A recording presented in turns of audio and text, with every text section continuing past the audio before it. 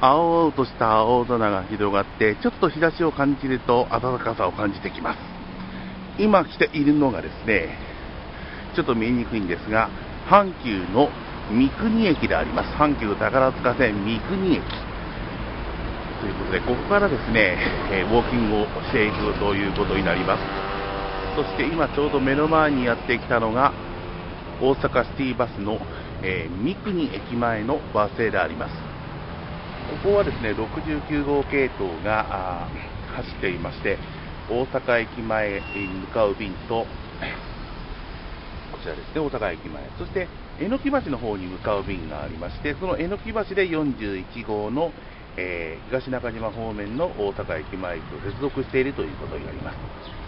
まあ、本数は、えー、1時間に1、2本程度ありまして、まあ、平日は大体10、えー、昼間の時間帯を中心に1本程度というダイヤダイヤ内容となっています。こういうロータリーがありまして、商業施設が立ち並んでいる阪急三国駅前からですね、ウォーキングをしていくことになります。さあ、どこまで行くかは、この動画を見てのお楽しみにということで、ではスタートしたいと思います。ドラえもんを、まあ、横に見ながらですね、えー、1分ほど前に三国駅を出てきました。まずはですね、こちらになりますね、えー、阪急宝塚線を、まあ、右手に見ながらですね、えー、進んでいくということになります。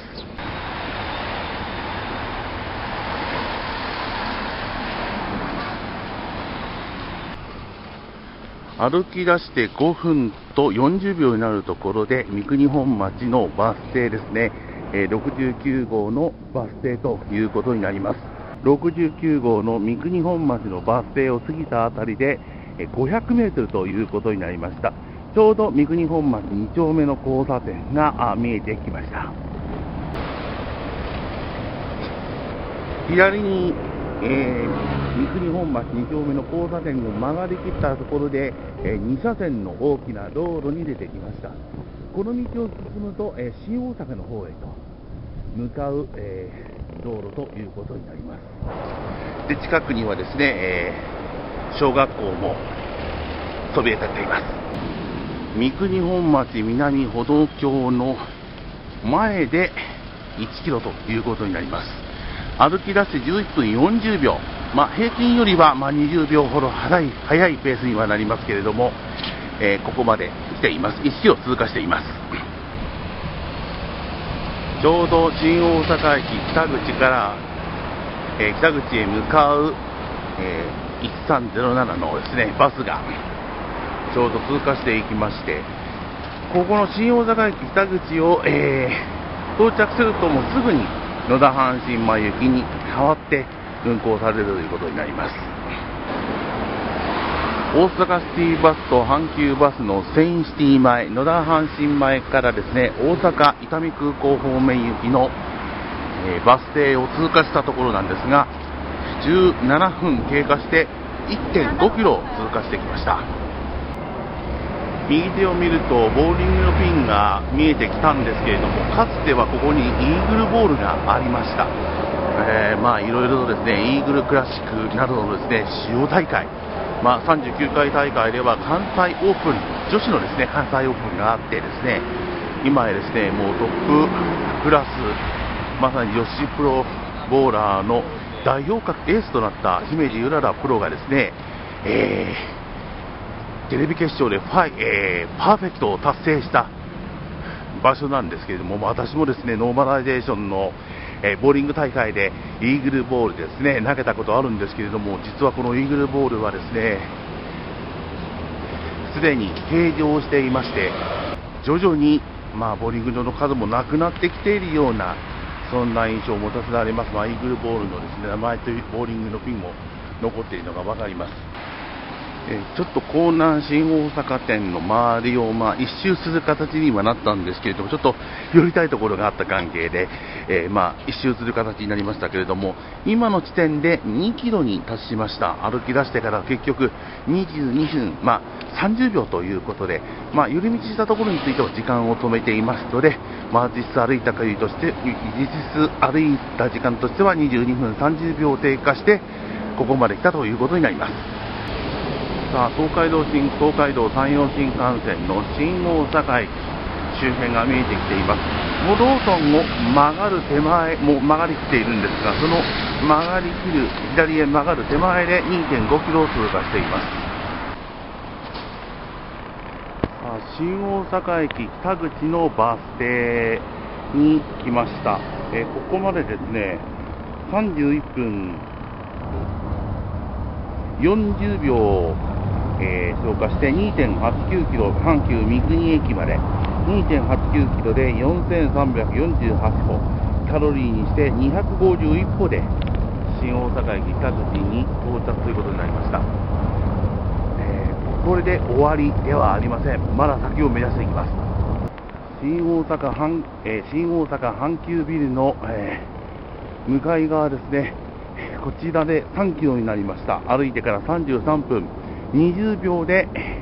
3キロとなりました。そして遠くに行くと JR 新大阪駅 JR 京都線新大阪駅が見えてきます。ちょうど今321系車両が東淀川を目指している傍らで光ってるのが見えるでしょうかね。201系の黄緑の新幹線が、えー、すで黄緑の車両が見えています。今日は3月10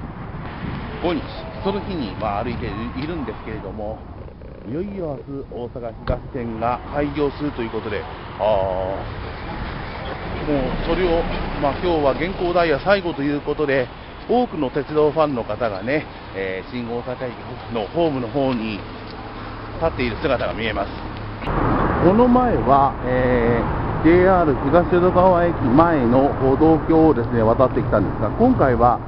えー、新大阪駅の地下道ですね、えー、東淀川区へと入っていく、西淡路へと向かっていく地下道の方を歩いていっています。さあ、地下道の出口が見えてきました。もうすでに3.5キロ、手前で3.5キロを過ぎています。で、えー、この階段を上がって東淀川区に入るということになります。さあ、東淀川区内に入りました。日の出公園の、えー、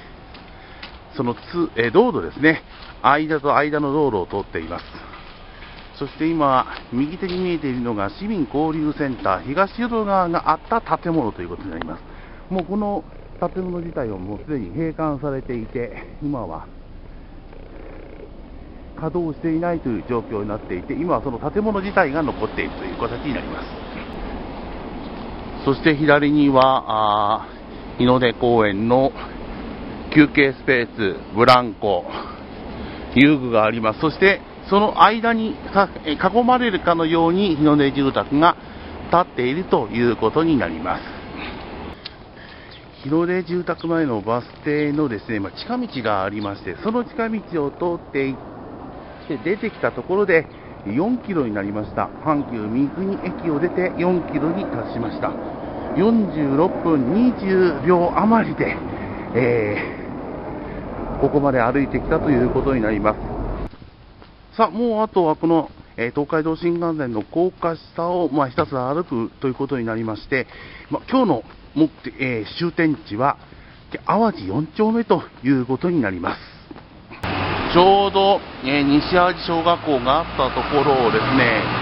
え東海道新幹線の高架下を通過していますが、もうすでに4.5キロを通過したことになります。もう間もなくで、ね、目的標の、終点地に着くことになります。さあ、アーディ4丁目、まあ、アーディ3丁目の地点になるんですけれども、アーディ駅の新東海道新幹線高架下の自転車駐輪場ですね、えー、こちらに到着であります。結局ここまで55分49秒歩いて4.78キロ歩数にして7146 418キロカロリーの消費で歩いてきました徐々にま日差しの方が強くなってきてですね、まあ、汗が出るほどだったんですけれども、まあ、ちょっと歩いたところに行くと、淡路4丁目11、あるいは、えー、東淀川駅前を経由する 11A 系統の、系統のバス停があります。まあ、そちらに待っている方もいらっしゃいますけれども、まあ、1時間近くを歩いてきましてですね、本当に今日はいい天気でしたので、まあ、爽やかに歩けたんではないかなと思います。ということで、阪急三国駅から新大阪駅を経由、新大阪駅の地下道を経由して、淡路4丁目までをウォーキングしてきました。